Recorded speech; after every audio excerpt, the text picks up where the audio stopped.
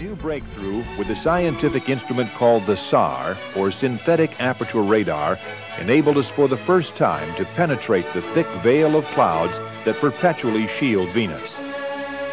This heavy atmosphere of 97% carbon dioxide with a thin layer of sulfuric acid at the top captures and retains the heat of the sun, causing a greenhouse effect. The temperature on Venus is 470 degrees Celsius, or approximately 900 degrees Fahrenheit. A searing heat with crushing atmospheric pressure.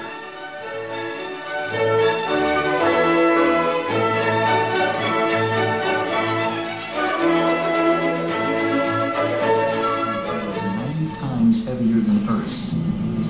Too heavy for a human to tolerate. On the ground, as far as the eye. They cover 85% of the planet. It's hard to believe Venus once had vast oceans with temperatures around 460 degrees Celsius. Venus is even hotter than Mercury, the planet closest to the sun. It's alive, not a surface. Not because of what's on the ground, but what's in the air. In 1982, the Soviet spacecraft Venera 14 visited Venus. In the clouds, 50 kilometers up, it detected temperatures much cooler than on the surface.